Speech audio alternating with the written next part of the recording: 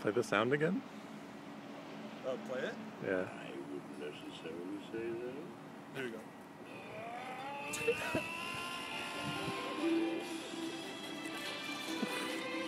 Oh, I love it.